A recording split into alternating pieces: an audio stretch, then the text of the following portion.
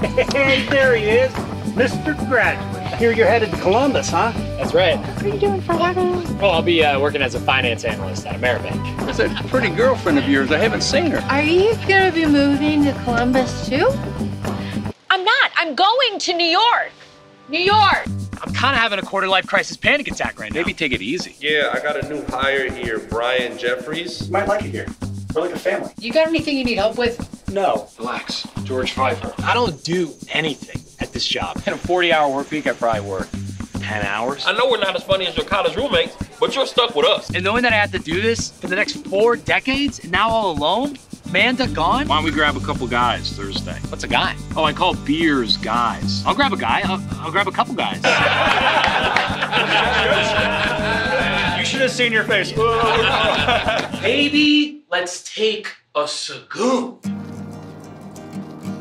I mean, is there any way you can re-enroll in Columbus? Brian, my spot there is long gone. Well, then I'll get a job here in New York. Can't you just accept that we had a good run? You don't like me. You don't know me. What's my path? I can't tell you your path. That's why it's your path. This sea brew is delicious. I'm gonna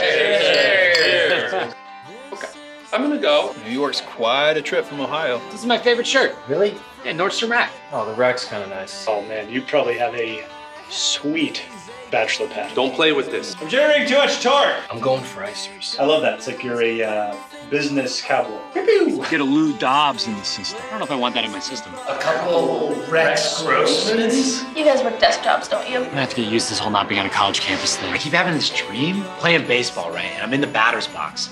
And the pitcher throws a fastball. The ball's coming in. It's right about to hit my bat. And it stops. And then the ball starts spinning round and round and round the bat. And I move my arms, jerk my shoulders forward, and I can't hit it. And then I wake up.